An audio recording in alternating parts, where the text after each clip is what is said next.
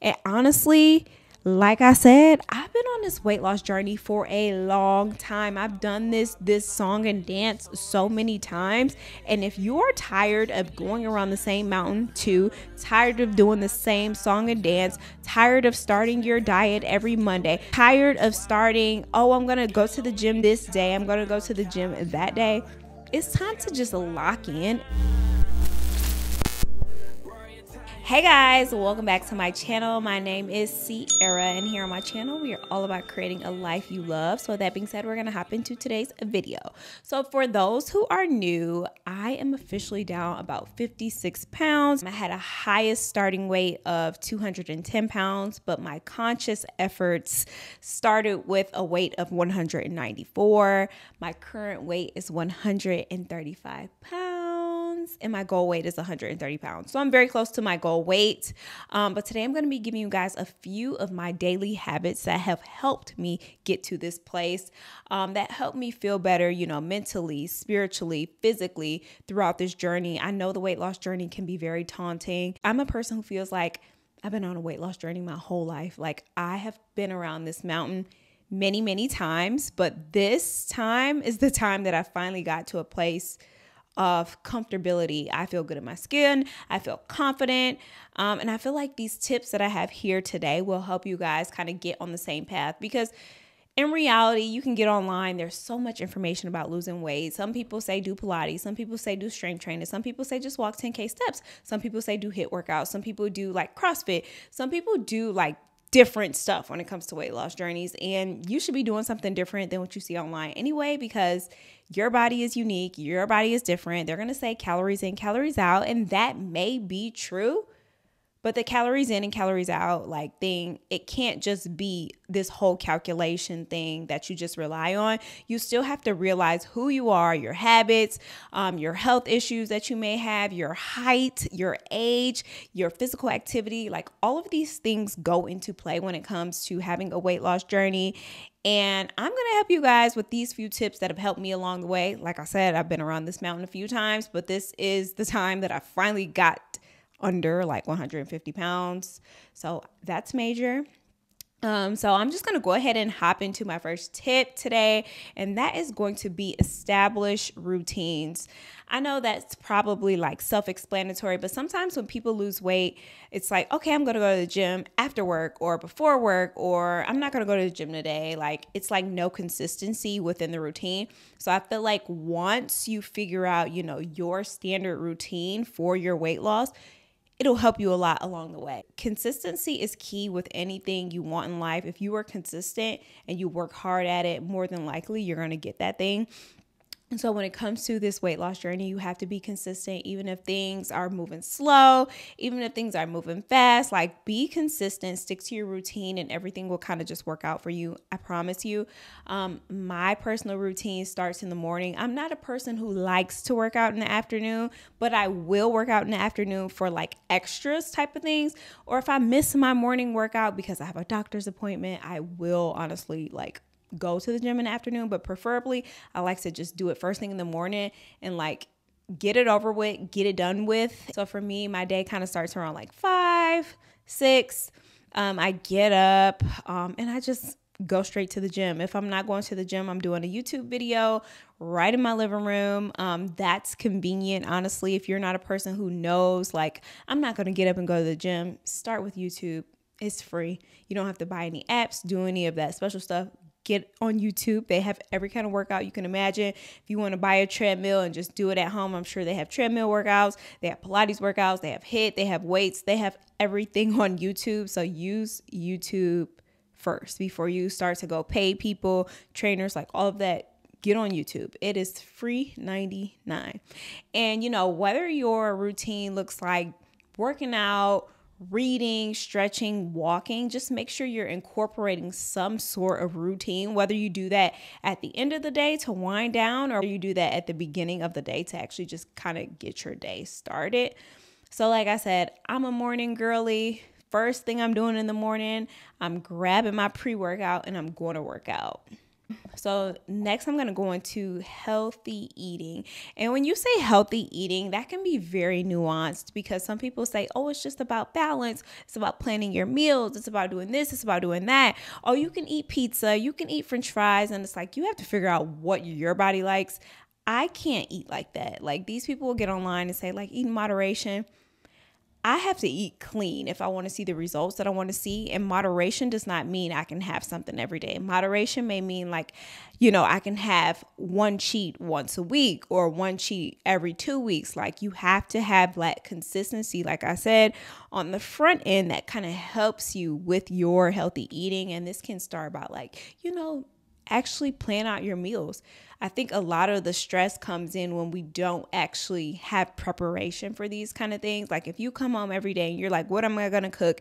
You get overwhelmed with what am I to cook? And you just end up like at Chick fil A or end up at like Texas Roadhouse. Like you just end up somewhere that you're not supposed to be because at the end of the day, these places do have healthy options, but it may not be the accurate calories. They're putting things in the food.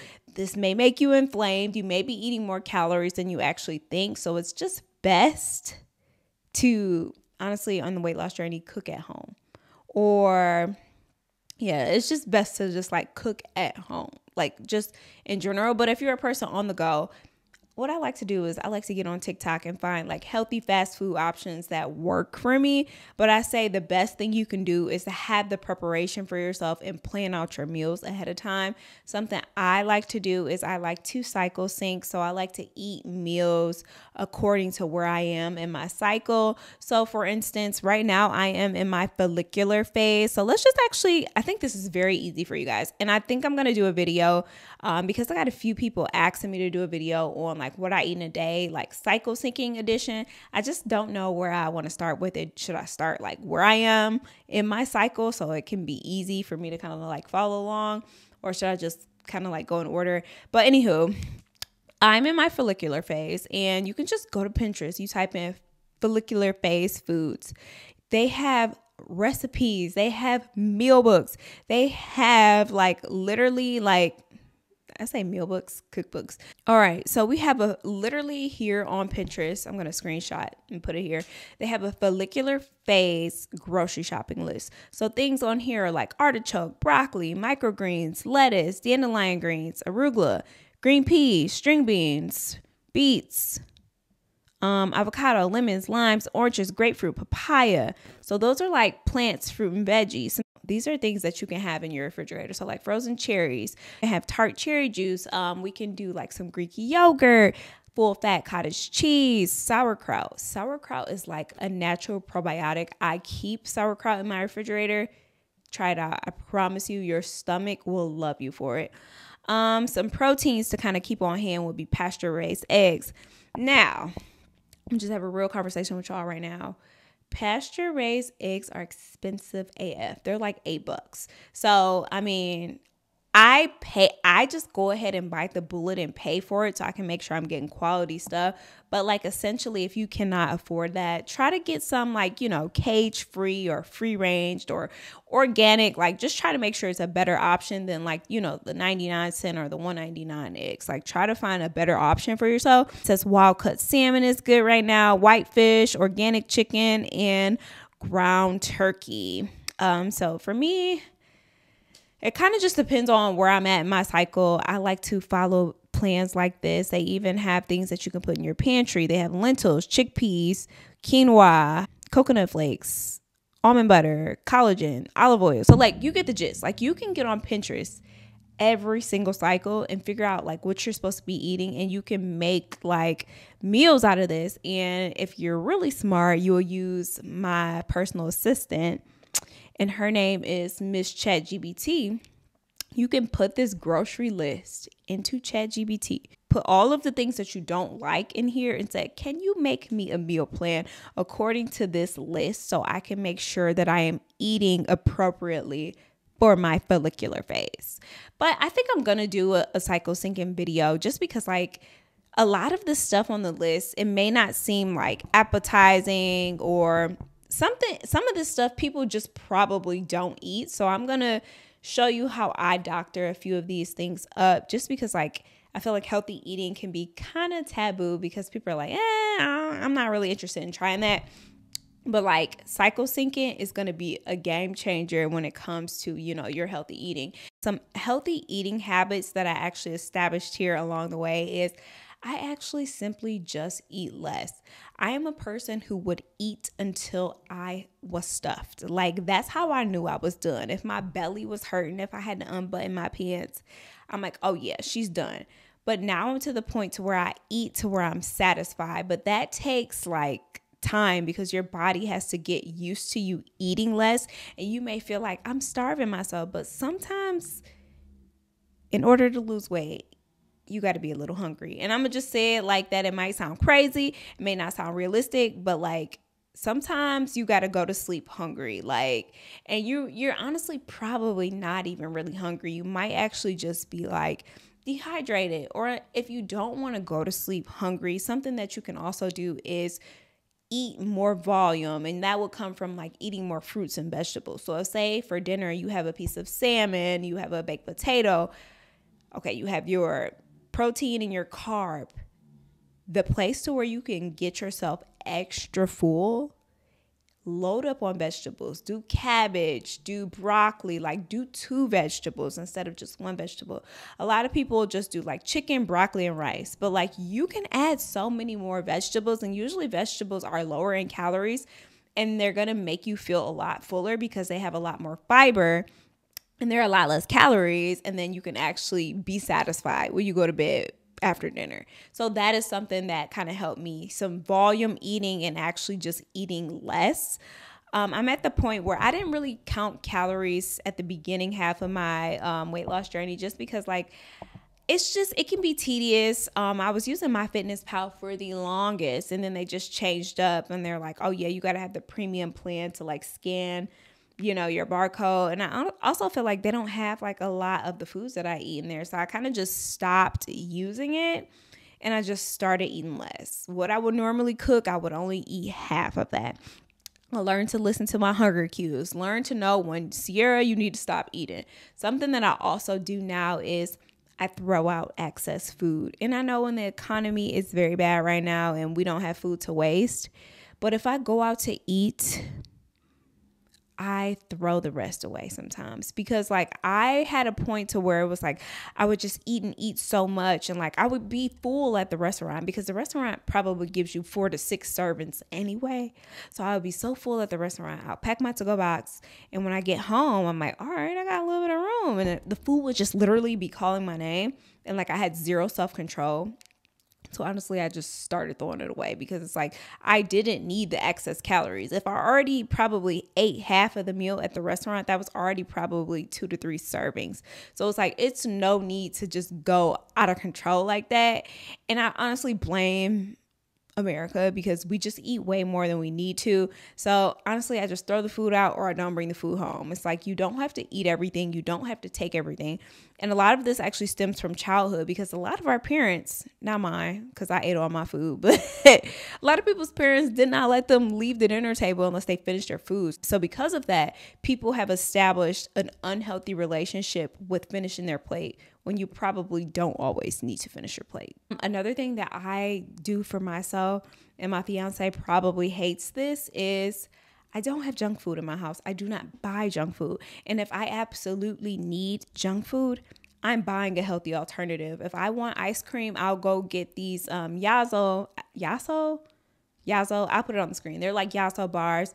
They're Greek yogurt ice cream. They're like 100 calories per like ice cream pop. Um, I get the mint chocolate chip because I'm a mint chocolate chip girly. I know a lot of people hate that, but I love it. Um, they also have this good like chocolate fudge brownie one, and they're not, they're like 100 or 90 calories. It's only four in the box, so you can't go too crazy with it. They also have protein in them, so that's always a good thing. So I have like, you know, healthy alternatives in the home if I absolutely need it. And usually only when I absolutely need it is like around that luteal phase or if I'm on my period. I just need it. Uh, it's it's natural. We're women. We we crave these things. So if you do absolutely need junk food, find healthy alternatives to your junk food. If you're a person who likes potato chips, chop you up a potato, then put a little bit of spray oil on it so you're not ODing it with the oil and throw it in the air fryer and you got some like chips right there. So it's like we have to find, you know, healthy alternatives that work with our lifestyle. Um, another thing I say is like I don't have junk in the home. So if I absolutely, if I'm having a cheat day, if I'm having a fun day, we do that outside of the home. I'm not ordering pizza to the house. We're going to go out to a pizza restaurant and have the pizza at the restaurant. I'm not bringing unhealthy foods to the house. If I want ice cream, like I said, I have that healthy alternative, but I'm not bringing like full fat ice cream in my house. I'm just not because I don't have the self control always to not eat it all.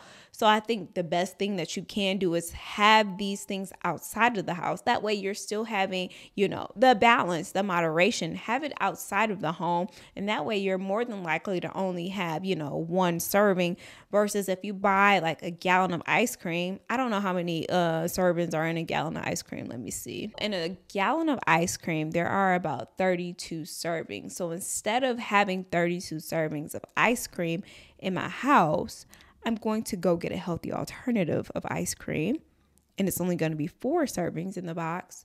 Or I'm only going to have one serving of ice cream because I'm going to go to an ice cream parlor and get a scoop of ice cream.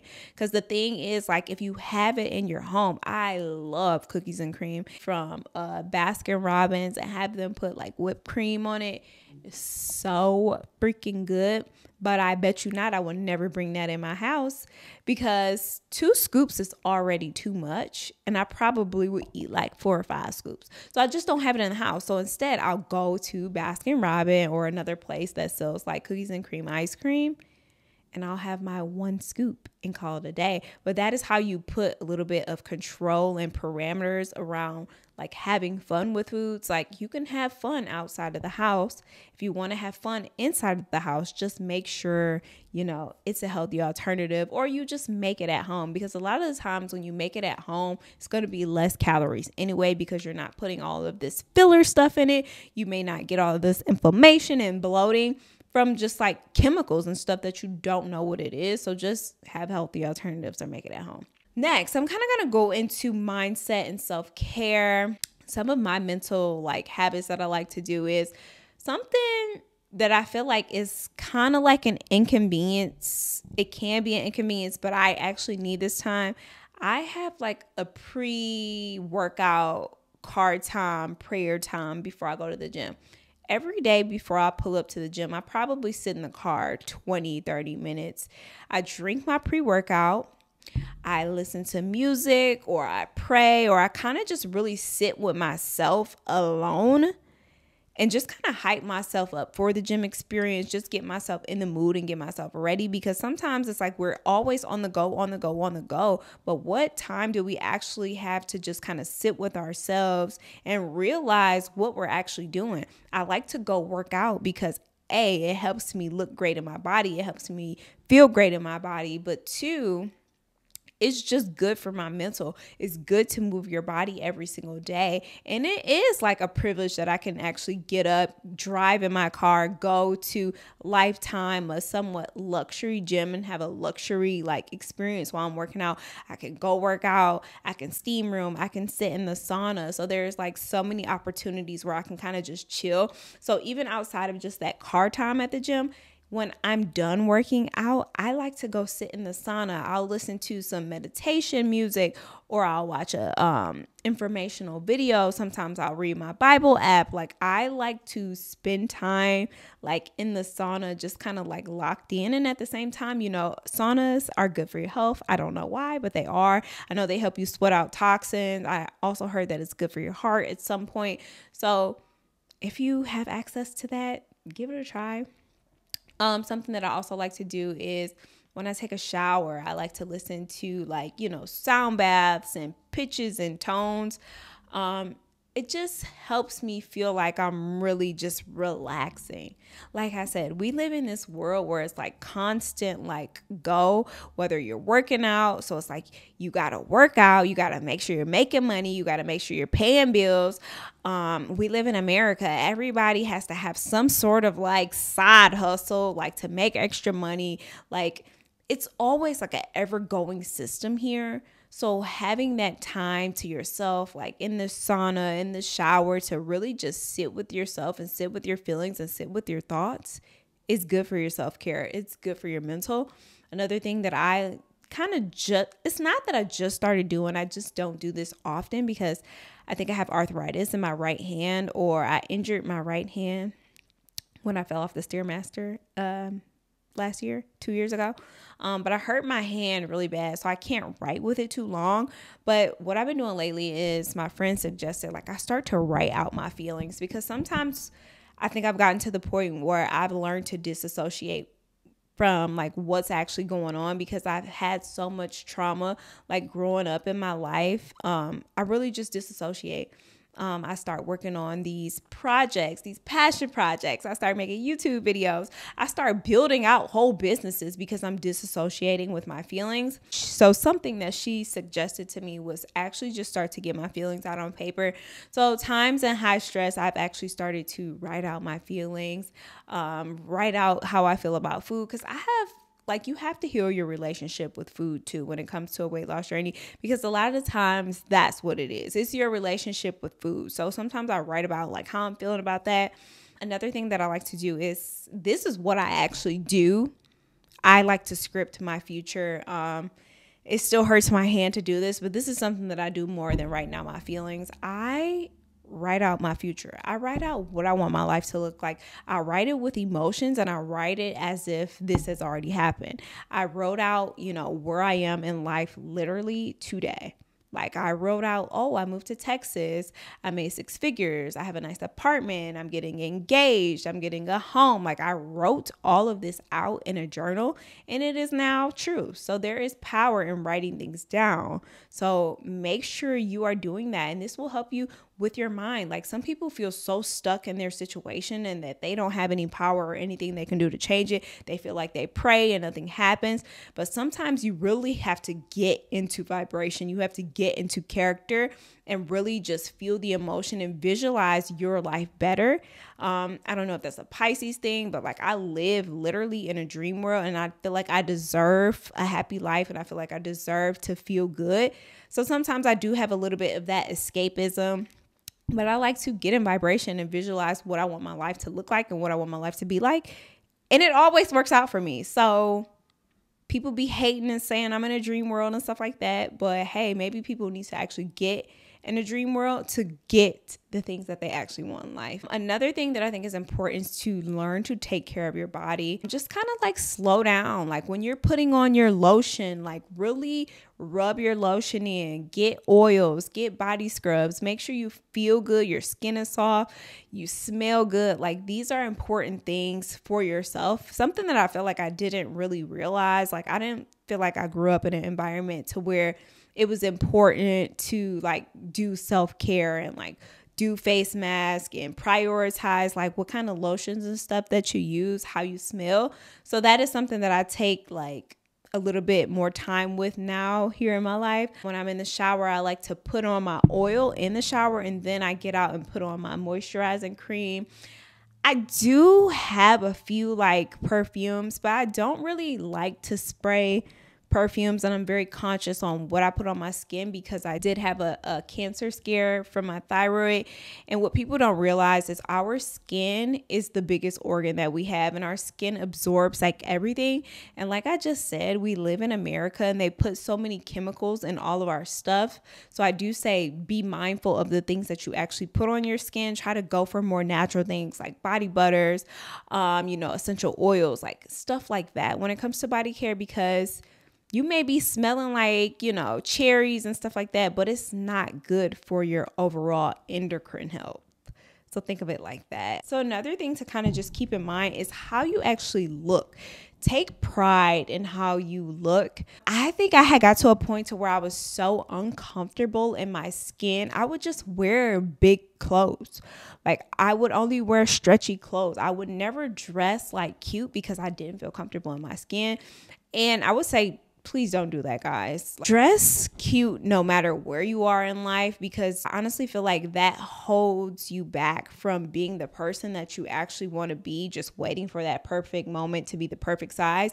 Because now I literally went from like a size 10 to like a size four slash six and now I'm like, I've gone so long without wearing cute clothes and things that I like. I don't know what I like. Now I'm to the point where I have to shop for every single thing. I need new panties, I need new bras, I need new undershirts, I need new shorts, pajamas, clothes, everything. When I tell you guys I cannot fit anything, my freaking engagement ring is so big. It's a great con to have but I have to shop for everything like all over again. But this gives me an opportunity to really do some, you know, self care work, figure out what Sierra likes, what kind of clothes does she like, what kind of colors look good on her.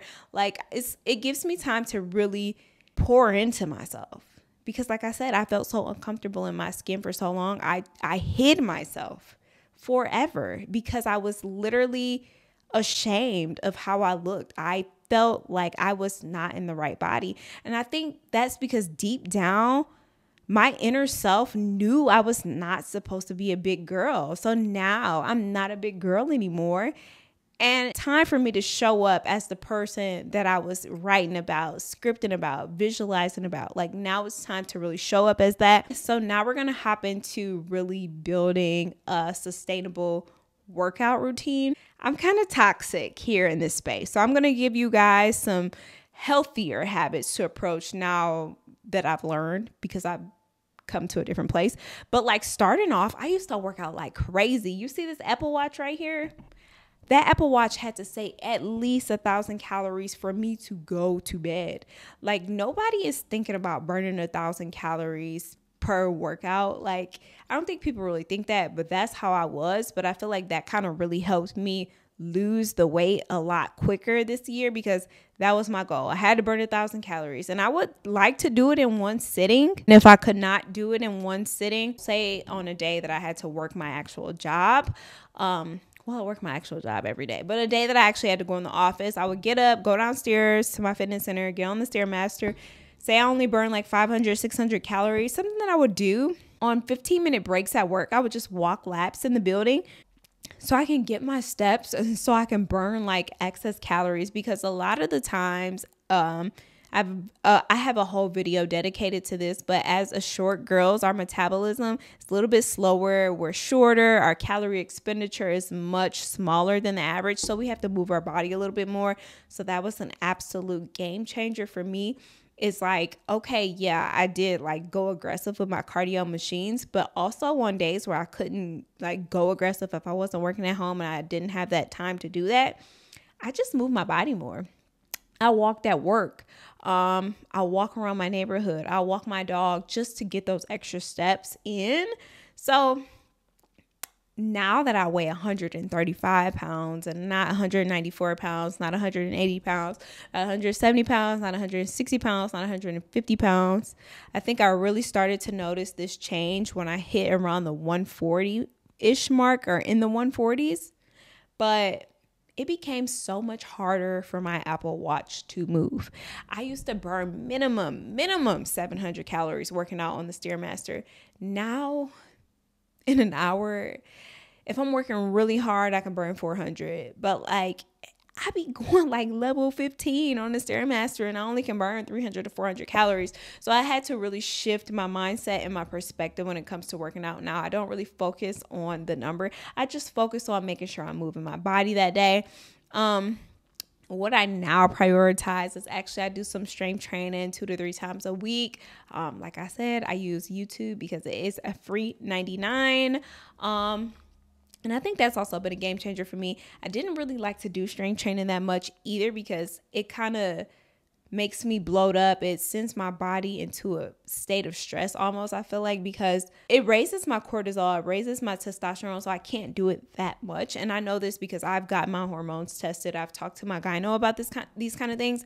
But what I do now, I found a low impact strength training workout that works really great for me. And I love that for me. It's an old video from the early 2000s. And I know I make that girl a lot of money on YouTube because I watch that video a lot during the week and I do it a lot during the week. And I've even put like my friends on. So it's like this lady making a lot of money from us.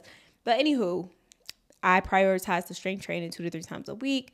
Um, I still like to do a cardio machine because that feels good to me. So I still do the Stairmaster for an hour. I burn my little 200, 300 calories and I call it a day. I don't really think about it too much. But something that I've been really prioritizing here lately is my 10K steps. So if I can't burn, you know, a thousand calories in my one little sitting like I used to, I now make sure I'm doing my 10K steps a day. Um, I did work out this morning. So right now I'm at 5,000 steps. Um, the weather is kind of changing, so it is good to walk outside. It's not super hot in Texas, but with the weather change, I have like asthma problems. So something that I've been doing here lately is just walking my apartment building, walking each floor, going up each stairs, walking the floor, and then walk back down just till I hit 10k steps. And it's like, all right, you got your movement for the day, and that is more sustainable to me than me staying on the Stairmaster three hours just trying to burn those thousand calories. Like just me prioritizing moving my body and really just going with that because you can't be too obsessive with numbers because like I said, the heavier you are, the more I think it's easier to burn more calories, but the more and more you start to lose weight, you do have to, you know, adjust and I had to become less rigid. Like I literally would be like, "Oh no, I have to burn a certain amount of number of calories a day." But now it is so hard to even touch that in one sitting. I had to stop being so rigid. So, something I do, and I've been doing this previously, but now I really prioritize like honoring my cycle. Like I said, I do the cycle syncing. Um, so let's just go to Pinterest really quick because I told you guys this before. So let's do follicular phase workouts. Okay. So here's this little chart. I'll screenshot and put it on the uh, screen for you guys. In your follicular phase, this is the time that you can do some light cardio exercises. And then once you HIIT your ovulation phase, that's the time to really go hard with like the cardio and the hit. But this is like your body building up to the point of okay your body's trying to make a baby you trying to you know get you're fertile like you're trying to ovulate so your body like really amps up during that time so you have a lot more energy. But right now i'm in that follicular phase so i feel myself kind of like going up like after my period. These are things that you should be practicing daily and honestly like I said, I've been on this weight loss journey for a long time. I've done this this song and dance so many times. And if you are tired of going around the same mountain too, tired of doing the same song and dance, tired of starting your diet every Monday, tired of starting, oh, I'm going to go to the gym this day, I'm going to go to the gym that day, it's time to just lock in and build a sustainable lifestyle for yourself. Start implementing daily habits that will help you get like closer to your goals. It doesn't have to be extreme. Nothing I said on here is too extreme. The only thing that's probably extreme here on this list is throw out your um leftovers or don't have junk food in your house. But this honestly is setting yourself up for success if you don't have a good relationship with food. If you don't have any self-control, you have to control your controllables. Okay, say you were you go out on a date and you guys he you have all of this excess food your controllable is don't bring that food home. And if you don't want to seem rude and not take the food with you, take the food with you. And when you get outside, throw it in the trash. Don't even bring it into the house. I don't know. I didn't have no self control, so I couldn't even bring it into the house. But like I said, I don't think this is extreme. I think this is just simply taking care of yourself, like mind, body, and soul, so you can feel good in your skin, so you can feel good in your clothes, so you can stop dodging pictures, stop dodging the mirror. Like, that is no way to live life. And I am just now realizing that at almost 30 years old. I wish I would have got to this place like much sooner. I feel like I wasted a good portion of my 20s just not being comfortable in my skin. And not being comfortable in my skin came with me not really loving myself, me not feeling worthy. And that is not a place that you want to really be. So, it's time to implement these daily, you know, habits and really love on yourself. You only get one life and you don't want to live your life with regret just because you don't feel comfortable in your skin. So, anywho, I hope you guys enjoyed this video. I really hope this video helps. If you guys have any suggestions or videos that you would like to see, leave it down in the comments below. And I will talk to you guys next week. Bye.